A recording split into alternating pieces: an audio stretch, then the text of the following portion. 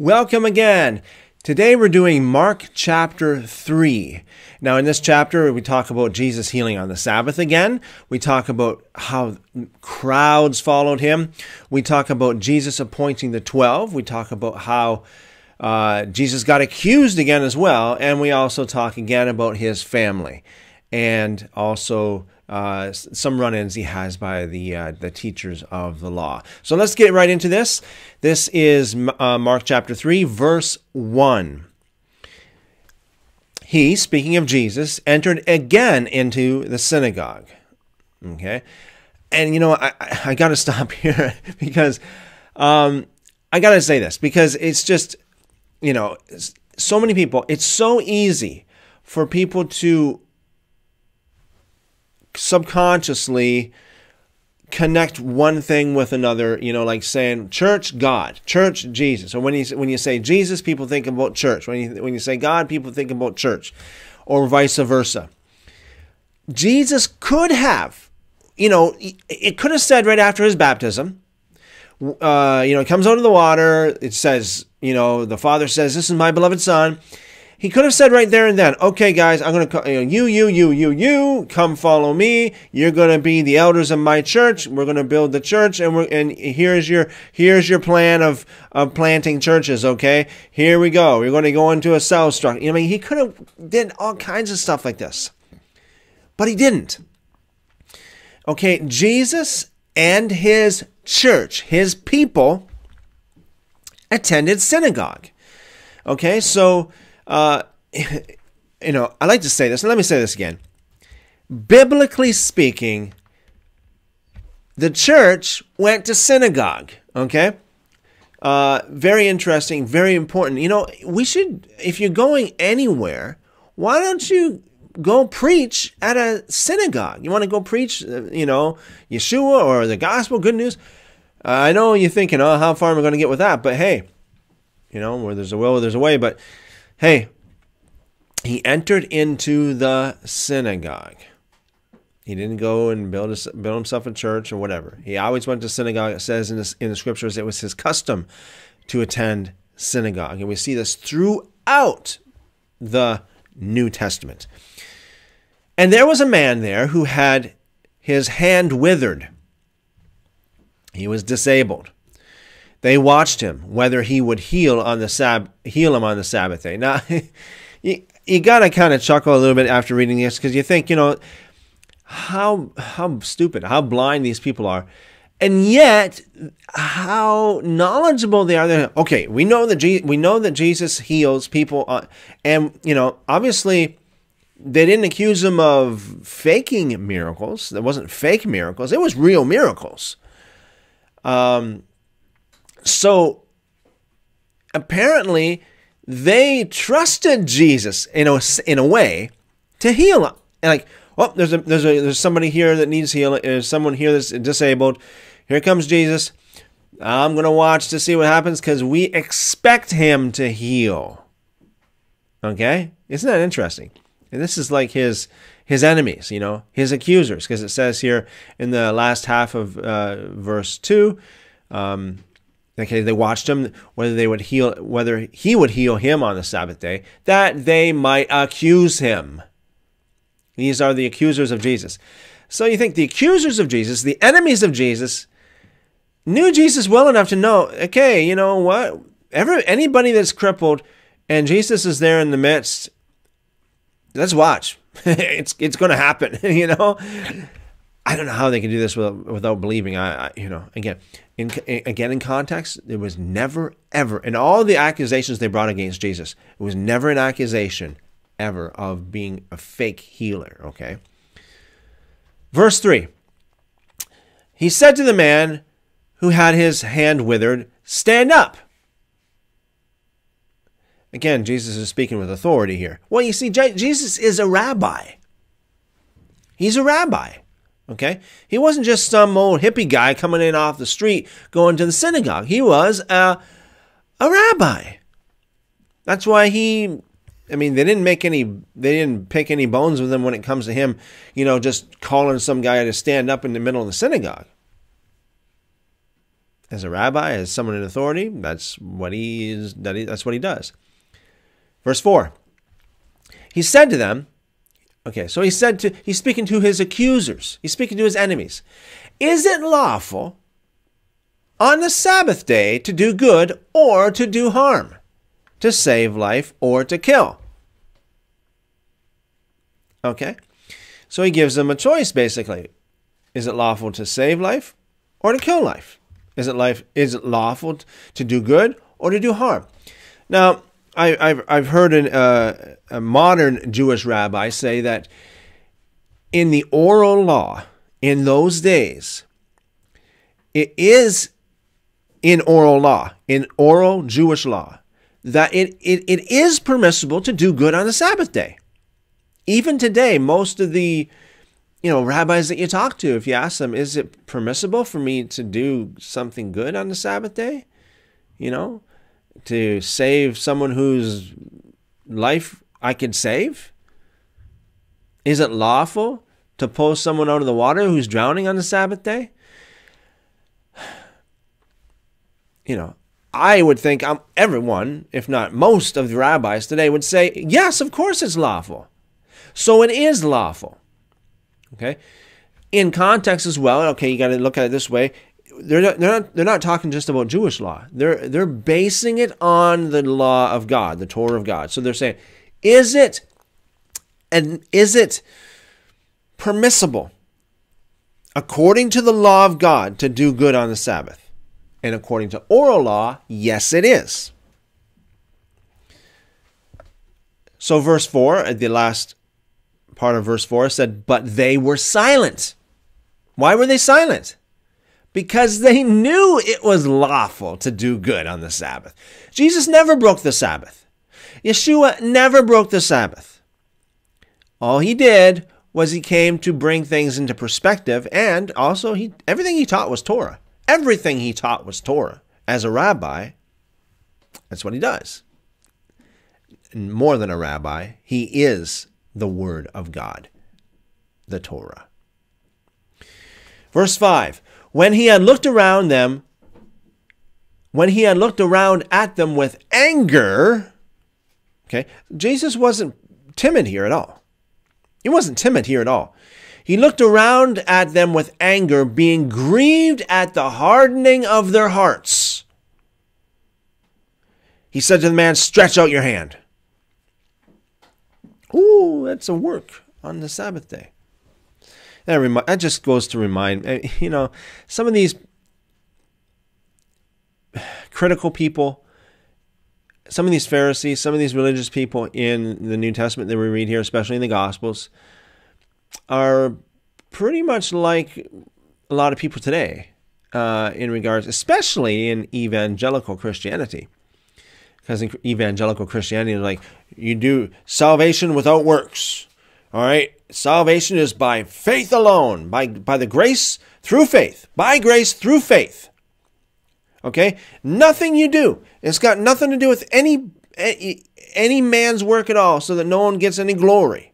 Okay? But once again, they take that right out of context and they don't even think about what they're talking about.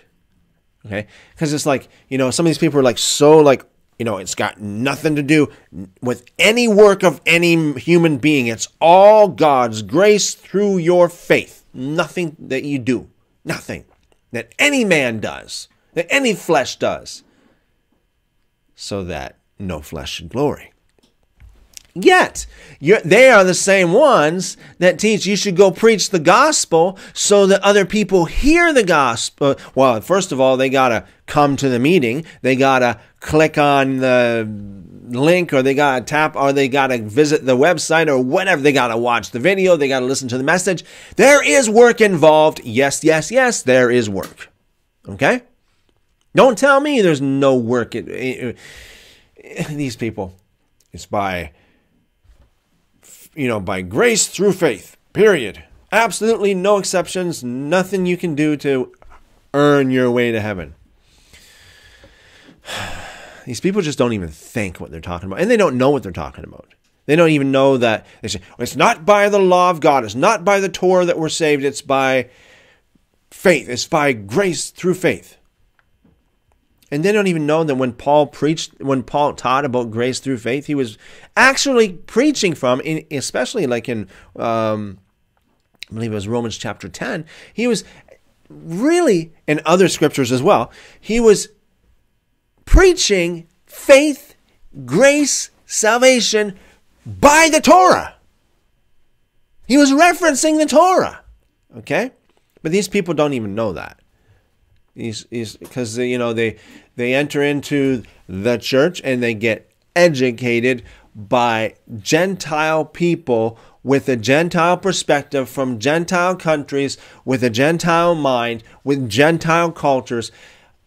And they try to, they, they, they get educated, so called educated, into a book that was written only by Jews, in a Jewish culture, in a Jewish land. Speaking of the king of the Jews. Yeah. So you better get educated. Um, that was just a little nugget there I threw in there. It reminds me of uh, Christians today. Oh, we're saved by by by grace through faith, not by works at all, not by any work at all. Oh yeah, it takes a lot of work. It takes works. How do you get saved? Well, you gotta you gotta listen to a message being preached. Well, or you gotta read a book. You gotta read the Bible. Well, do you think the Bible just came into existence without any work? Do you think that message was preached without any man's work? I can just hear some of you going, yeah, but, yeah, but, yeah, but, yeah, but, yeah, but. No, no. Uh, it's either it's either yes or no, right? Um, you got to go to the meeting. That's work. You got to sit and listen, understand. Actually, that's work. I mean, speak to people who study hard in university to actually listen to lectures and, and to understand them, it takes work. It takes brain power. It takes energy. It does. It takes human effort. You can't just sit there in your sleep and, and, and, and get a university education. No. It takes work. Okay, so um, just like these people, no work on the Sabbath. Well, it is lawful to do good on the Sabbath. It is lawful to do good on the Sabbath. It is according to the Torah. You, you can, and it is permissible. And it's actually even advised or recommended to do good in certain circumstances on the Sabbath. To, yes, do. Mm-hmm. Work. Good. Works. When he had looked around at them with anger, being grieved at the hardening of their hearts. How were they hardened? How were they hardened in their hearts? They were hardened because they did not care about this man. They cared more about about lording over people according to their understanding or their implementation of the Sabbath rules. They they cared more about their policy or their rules the rules of men as opposed to the rules of God. They cared more about that than they cared about this poor man who was suffering with, uh, you know, a disability. So Jesus said, "Stretch out your hand." He stretched it out, and his hand was restored as healthy as the other. Yeah. Go, go, Jesus, right? Uh, verse 6 The Pharisees went out and immediately conspired with the Herodians against him that how they might destroy him. See, these people, they got it. Comp- what kind of, what do they have in their heart? There's, again, there's so many people in this world today that are the same way. They hate people just because they're righteous. They hate people just because they preach against the sin that they love. They hate people, you know, just because they hate people just because they're better than them. Let's let's just be honest here. They hated Jesus so much. In spite of all of the good works he did, in spite of the good works that he did, in healing, in, in miracles, by compassion, they hated him. Same way today. You go out there and you preach like Jesus preached. You preach hard against hypocrisy. You preach hard against sin. You preach repentance strong, like Jesus preached. That's the context of the whole thing. You preach like that. And really, it doesn't matter how good of a man you are. People are going to hate you. Verse 7 Jesus withdrew to the sea with his disciples, and a great multitude followed him from Galilee, from Judea, from Jerusalem, from Idumea, and from Jordan, and those around Tyre and Sidon. A great multitude, hearing what great things he did, came to him. He spoke to his disciples that a little boat should stay near him because of the crowd, so that they wouldn't press on him. Uh, Sounds sounds kind of uh, yeah. He has to uh, do a lot of things there to uh, to keep the, the the crowds away. Verse ten. Verse ten. For he had healed many, so that as many as had diseases pressed on him that they might touch him. The unclean spirits, these are devils, demons, unclean spirits, entities that has their own mind, their own intellect. Okay, it's, a, it's important to understand what a spirit is. It's not just a feeling or an ambition or an emotion. No, it's it is an an actual entity. Unclean spirits, wherever they saw him, fell down before him and cried out, "You're the Son of God." Verse twelve, and again he sternly warned them that they should not make him known. Again, c- contrast this with a lot of the preachers today. They want to go out and, and, and advertise their church. They want to go out and they want to tell everybody what God, how much the great, mighty works that God is, is doing in their meetings. That's opposite to what Jesus did here. Verse 13. He went up into the mountain and called to himself those whom he wanted, and they went to him. He appointed twelve. Okay, very interesting. Uh, he could have chose a million. He could have chose a thousand. He could have chose a hundred, but he chose twelve. I wonder, you know, you, you see later on in in other, scriptures as well that Jesus said to the twelve, "You, I appoint you. I'm giving you the responsibility." to sit on 12 judgment seats and judge the 12 tribes of Israel. So, one apostle for each tribe. He appointed 12 that they might be with him and that he might send them out to preach. Now, the question is, what did they preach? Well, we're going to get to that. Verse 15, and and to have authority to heal sicknesses and to cast and and to cast out demons as unclean spirits. Okay, so look at this. Look at the look at the the order here. Number one, to preach. Okay, and in that context of the message that they had, which we're which we're going to get to, they heal sicknesses and cast out evil spirits. Like today, a lot of evil spirits are manifested in tormenting, or a lot of people would say attacking them in certain ways. Are you tormented? Do you have depression? It could be an evil spirit.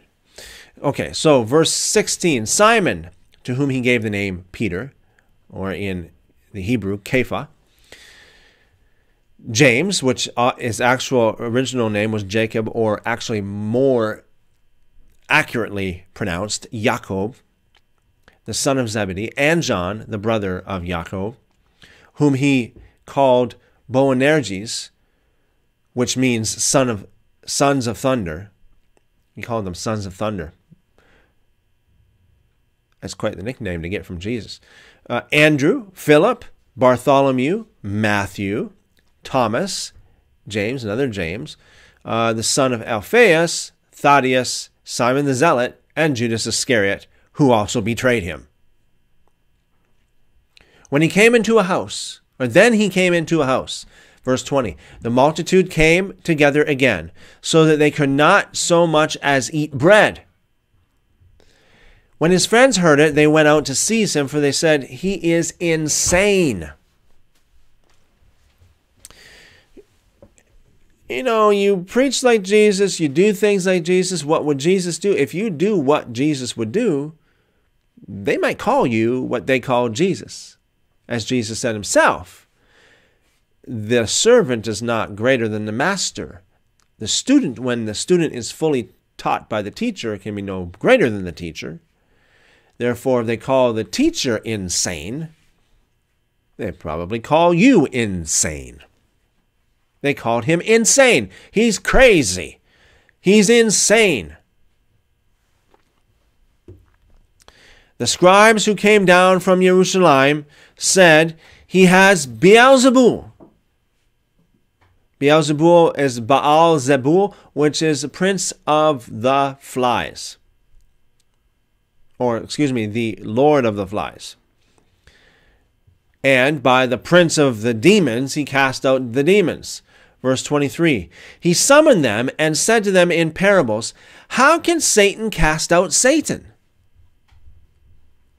Why would Satan fight, him, fight against himself? If a kingdom is, is divided against itself, that kingdom cannot stand. If a house is divided against itself, that house cannot stand. If Satan has risen up against himself and is divided, he can't stand but has an end. But no one can enter into the house of a strong man to plunder unless he first binds the strong man. Then he will plunder his house. Most certainly, I tell you, all sins of the descendants of man will, will be forgiven, including their blasphemies with which they may blaspheme. But whoever blas- may blaspheme against the Holy Spirit never has forgiveness but is subject to eternal condemnation.